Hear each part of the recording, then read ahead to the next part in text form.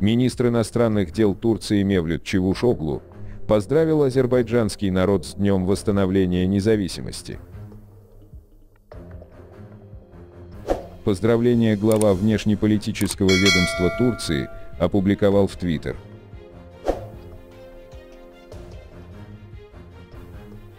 С освобождением Карабаха 30-летие Дня восстановления независимости братского Азербайджана стало еще краше.